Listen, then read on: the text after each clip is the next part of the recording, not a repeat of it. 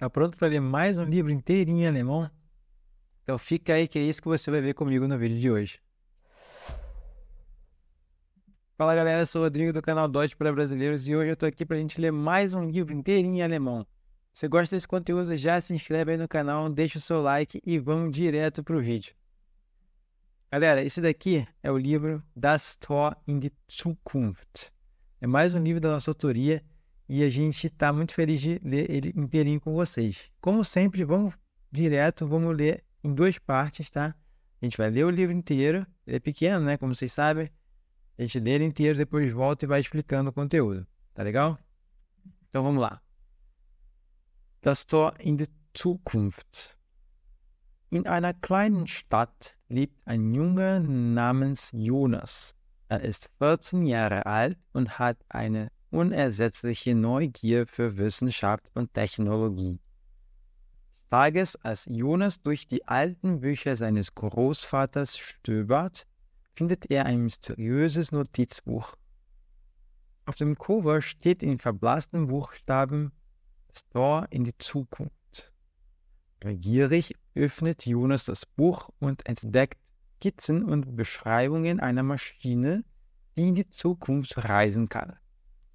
Das Notizbuch gehört seinem Großvater, einem brillanten, aber zurückgezogener Erfinder, der vor vielen Jahren verschwand. Die Dorfbewohner glauben, dass er in einen seinen Experimenten gescheitert ist und nie zurückkehrte. Jonas glaubt jedoch, dass sein Großvater die Maschine tatsächlich gebaut und benutzt hat. Jonas beschließt, das Geheimnis seines Großvaters zu lüften und die Maschine zu finden. Im Keller des alten Hauses seines Großvaters entdeckt er eine versteckte Kammer. Dort steht sie, die Zeitmaschine, genau wie im Notizbuch beschrieben. Jonas zögert nicht lange und setzt sich in die Maschine. Nachdem er das Datum und die Zeit auf einem alten, groben Display eingestellt hat, drückt er den Startknopf. Mit einem lauten Geräusch beginnt die Maschine zu vibrieren. Ein helles Licht umgibt Jonas. Plötzlich fühlt er, wie die Zeit um ihn herum rasend schnell vergeht. Als das Licht verblasst, findet sich Jonas in einer fremden Welt wieder. Die Stadt, die er einst kannte, ist nicht mehr wieder zu erkennen. Hohe Gebäude aus Glas und Stahl ragen in den Himmel. Fliegende Fahrzeuge sausen über ihn hinweg. Und die Menschen tragen seltsame, leuchtende Kleidung. Jonas erkundet die Stadt und staunt über die Technologie, die überall um ihn herum ist. Es gibt Roboter, die in den Straßen patrouillieren und Hologramme, die Nachrichten und Werbungen projizieren. Es fühlt sich wie in einem Traum. Doch bald merkt er, dass diese Zukunft nicht so perfekt ist, wie sie scheint. Er begegnet einem Mann, der ihm erzählt, dass die Welt von einer mächtigen künstlichen Intelligenz regiert wird, die das Leben der Menschen bis ins kleinste Detail kontrolliert. Freiheit existiert kaum noch und die Menschen leben in ständiger Angst, dass die Maschine einen Fehler macht und alles zerstört. Jonas erkennt, dass diese Zukunft nicht das Paradies ist, von dem er geträumt hat. Er beschließt, zurückzureisen und einen Weg zu finden, diese düstere Zukunft zu verhindern. Doch als er zur Zeitmaschine zurückkehrt, stellt er fest, dass sie beschädigt ist. Jonas muss all seine Fähigkeiten nutzen, um die Maschine zu reparieren, bevor die künstliche Intelligenz ihn entdeckt. Nach vielen Versuchen gelingt es ihm schließlich, die Maschine wieder in Gang zu bringen. Er gibt das Datum seiner ursprünglichen Zeit ein und startet die Rückreise. Wieder umgibt ihn das helle Licht und er spürt, wie die Zeit zurückwärts fließt. Als Jonas in seine eigene Zeit zurückkehrt, ist er entschlossen, die Erfindungen seines Großvaters zu nutzen, um eine bessere Zukunft zu schaffen. Er versteckt die Maschine an einem sicheren Ort und beginnt an neuen Technologien zu arbeiten, die den Menschen helfen und nicht kontrollieren sollen. Er weiß, dass die Zukunft noch nicht geschrieben ist und dass er die Macht hat, sie zu verändern. Alles klar? Gut. Jetzt kommen wir zurück und wir lesen das noch einmal. A gente vai ler novamente, só que agora entendendo tudinho, tá bom? Então, olha só. Das Tor in die Zukunft. In einer kleinen Stadt lebt ein Junge namens Jonas. Em uma pequena cidade mora um jovem chamado Jonas, um menino, né? Er ist 14 Jahre alt und hat eine unersetzliche Neugier für Wissenschaft und Technologie. Então ele tem 14 anos e tem um, uma curiosidade insaciável por ciência e, tec e tecnologia. Eines Tages, um dia, als Jonas durch die alten Bücher seines Großvaters stöbert, findet er ein mysteriöses Notizbuch. Um dia, quando Jonas estava mexendo, remexendo os livros do seu avô, ele encontrou um misterioso caderno de anotações. Auf dem Cover steht in verblasenen Buchstaben das Tor in die Zukunft. Então, vem para cá, ó. Auf dem Cover steht in verblassten Buchstaben das Tor in die Zukunft. Essas palavras que eu grifei, gente, eu já deixei aqui pronta para a gente ver. É, Fablast, então, é uma coisa desbotada, sem cor, perdeu a cor. Então, na capa estava escrito com umas cores desbotadas. O portão para o futuro. In die Zukunft. Repara aqui, repara aqui o, acusativo, né? É o portão em direção ao futuro, para o futuro. Wohin aqui, legal, né? Gut. Ähm, neugierig öffnet Jonas das Buch und entdeckt Skizzen und Beschreibungen einer Maschine, die in die Zukunft reisen kann. Então, curioso, o Jonas abriu o livro e descobre rascunhos e e descrições de uma máquina que poderia viajar para o futuro. Das Notizbuch gehört seinem Großvater, einem brillanten, aber zurückgezogenen Erfinder, der vor vielen Jahren verschwand.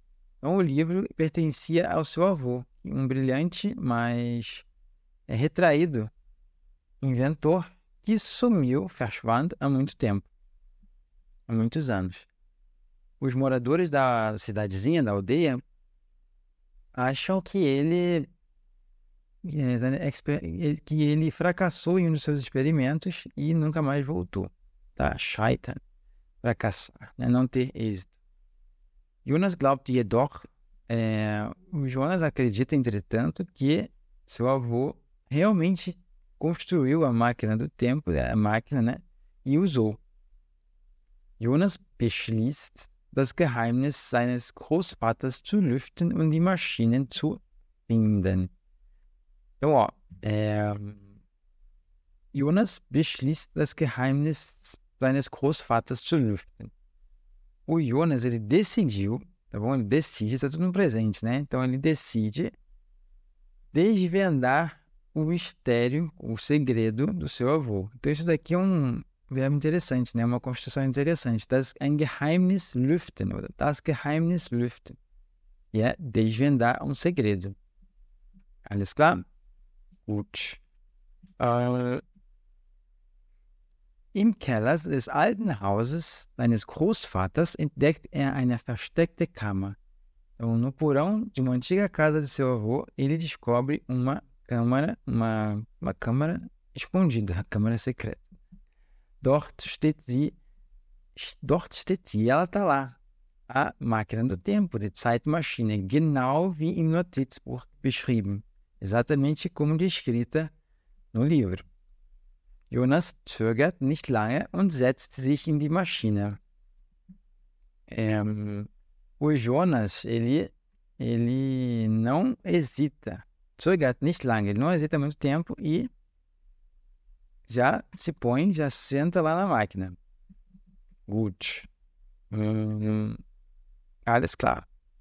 Nachdem er das Datum die Zeit einen, auf einem alten groben Display eingestellt hat, drückt er den Startknopf. Então, depois de ele colocar a data e o tempo que ele queria num antigo e grosseiro display, ele aperta o botão de Start. Knopf, botão, né? Botão de Start, botão de iniciar. Mit einem lauten Geräusch, um barulho bem alto, beginnt die Maschine zu vibrieren. Começa a vibrar und ein helles Licht umgibt Jonas. Ein helles Licht umgibt Jonas. Guck mal, helles Licht cerca, envolve o Jonas. Uh, plötzlich fühlt er, wie die Zeit um ihn herum rasend schnell vergeht. Uh, und als das Licht verblasst, findet sich Jonas in einer fremden Welt wieder. Então, plötzlich, de repente, ele sente wie die Zeit um ihn herum rasend schnell vergeht. Com o tempo, die Zeit vergeht também é uma expressão bem interessante. O tempo passa um ihn herum, ao redor dele, muito rápido. Als das Licht verblasst, de novo aquela expressão que nós vimos, ó, aquela palavra que nós vimos, as das verblasst. Inclusive, isso é interessante, gente. As palavras vão se repetindo nos livros, né? Então, quando você aprende, depois você anotou, decorou, viu de novo, aí você esqueceu, depois viu de novo, você vai lembrando. É assim que você vai aumentando seu vocabulário. Então, verblasst, nós vimos lá atrás, que é o quê? Desbotado, né? Então, quando conforme a, a, a luz vai ficando desbotada, né, vai perdendo cor, vai sumindo, findet sich Jonas in einer fremden Welt wieder. Ele se encontra, né, um mundo estranho, fremde, igual Fremdsprache, né? Mundo diferente, estranho, estrangeiro.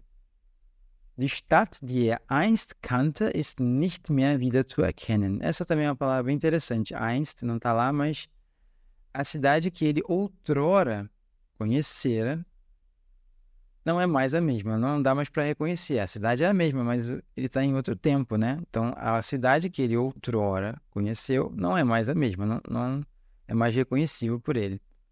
Hohe Gebäude aus Glas und Stahl ragen in den Himmel, fliegende Fahrzeuge sausen über ihn hinweg und die Menschen tragen seltsame leuchtende Kleidung.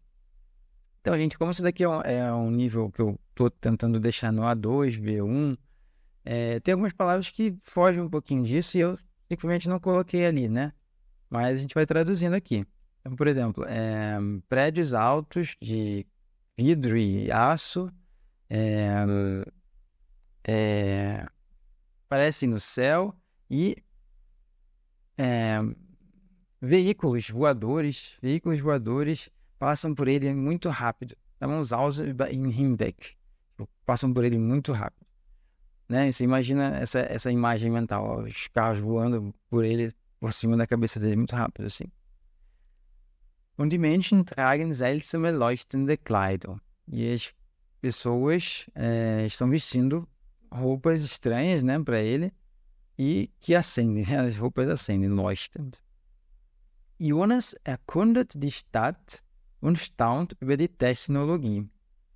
Mal, Jonas erkundet die Stadt und, und, staunt über die Tecnologia die überall um ihn herum ist.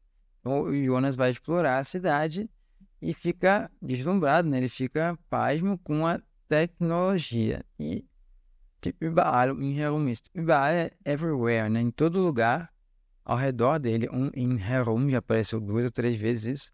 Um ihn herum ist. Super. Äh, es gibt Roboter, die in den Straßen patrouillieren und Hologramme, die Nachrichten und Werbungen projizieren. Então, existem robôs que estão patrulhando as ruas e hologramas que é, projetam notícias e propagandas. Er fühlt sich wie in einem Traum. Ele se sente como um sonho. Doch bald merkt er, dass diese Zukunft nicht so perfekt ist, wie sie scheint. Mas ele logo percebe que esse futuro não é tão perfeito quanto ele imaginou. Como ele parece, né? Scheint. Er begegnet einem Mann, Er begegnet einen Mann, der ihm erzählt, dass die Welt von einer mächtigen künstlichen Intelligenz regiert wird. Então, begegnen. Presta atenção nesse verbo, que ele é interessante. Ele significa zufällig, por acaso, treffen. Encontrar alguém por acaso. Ele é interessante duplamente, porque ele, diferente do treffen, ele pede é, dativo. Então, er begegnet einem Mann no dativo. Ele é triplamente interessante porque o passado dele é com sein. Então, você já aprendeu perfect? É ist jemanden é, dem begegnet. Tá? Então, zufällig treffen. Tá bom? Então, é com sein, ó, e é com date. Então, é encontrar alguém por acaso. Claro? Então, ele encontrou, né, se deparou, ele esbarrou com um homem que contou para ele que o mundo é regido né, por, por künstliche Intelligenz. Aqui, ó, é a nossa inteligência artificial, IA. Né? Eles também chamam de KI, Künstliche Intelligenz. Künstliche é realmente artificial, tá bom? Vem de Kunst, que é arte. Von einer mächtigen künstlichen Intelligenz regiert wird. E mächtig é poderoso. Ja? Gut. Ähm, die das Leben der Menschen bis ins kleinste Detail kontrolliert. Então, essa, essa inteligência artificial controla a vida dos humanos nos mínimos detalhes. Freiheit existiert kaum noch.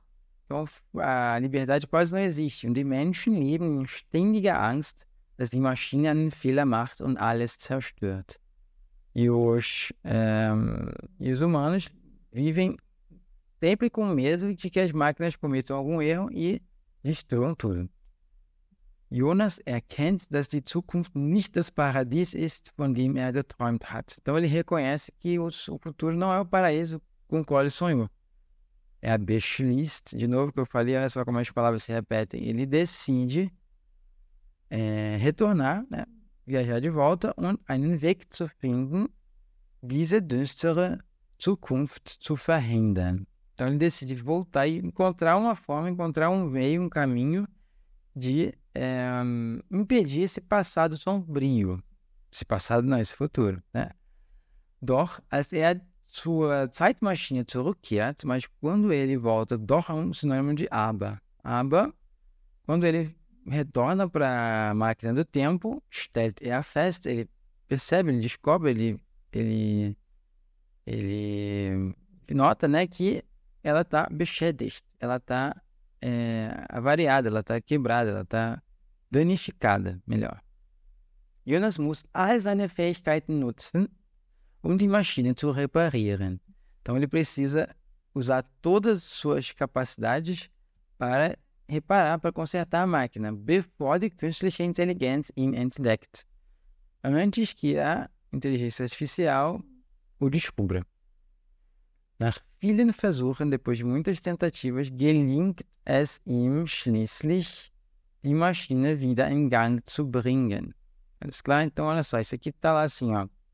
É, gelingt es ihm, die Maschine wieder in Gang zu bringen. Guck mal. Äh, nach vielen Versuchen gelingt es ihm schließlich, die Maschine wieder in Gang zu bringen. Então, essa expressão também é interessante, guelinha. Se você não conhece, é uma expressão interessante para você adicionar ao seu repertório. Es alguém no dative fazer alguma coisa. Então é conseguir fazer, mas não é não sou eu que consigo, não, é não sou eu que sou o nome nativo, tá? Alguma coisa gelingt a mim fazer, tá? Então, por exemplo, ó, es gelingt ihm é, ele teve o êxito, né? Ele conseguiu finalmente fazer funcionar a máquina. Em Gang zu bringen. Então, é fazer funcionar. Legal, né? Também. Sehr gut. Sehr gut. Ähm, er gibt das Datum seiner ursprünglichen Zeit ein. Ah, que legal também isso aqui é digitar. Ele digita, ele, né, tippt, ele coloca lá a data e as, da sua o seu tempo de origem e começa a viagem. Então ele conseguiu consertar a máquina, começou a viagem. Wieder umgibt ihn, de novo, wieder umgibt ihn das helle Licht und er spürt, wie die Zeit rückwärts fließt. Também está lá isso aqui, ó.